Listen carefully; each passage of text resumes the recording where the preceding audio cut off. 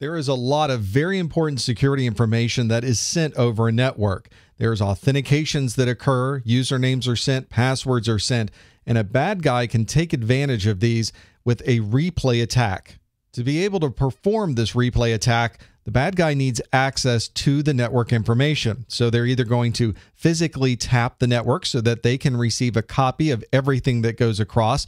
Maybe they sit in the middle by doing something called ARP poisoning, or maybe they install malware on the victim's computer and simply have the victim's machine send the bad guy directly everything that was going across the network. At this point, the bad guy will pick out the pieces of that information that will allow them to impersonate the original user, and then they'll replay that information across the network. Here's an example of how a replay attack might happen. I have me on my system. I'm communicating to a server and authenticating to that device through a switch, and the bad guy has gained access to the switch and has told the switch to also send all the traffic down to the bad guy's laptop. Well, I'm of course going to authenticate to the server, so I'll send my packet through the network and it will then complete its process to the server. But of course, a copy of that has now been sent to the bad guy. So he's captured that authentication process. That's probably going to be my username sent in the clear and probably a hashed password. You don't generally see passwords being sent in the clear across the network any longer.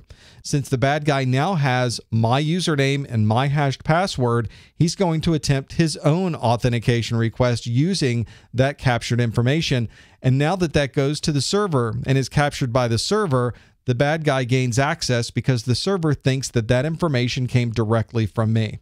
These days, when you're using authentication like this across the network, we usually take advantage of a capability called salting the password. There's usually a session ID that's only in use for the duration of that session. Even if the bad guy was able to gather the session ID, the username, and the hash password and use all of them together to form a valid authentication attempt, the server would know that that session ID was no longer available, and the entire process would fail and the replay attempt would not be successful.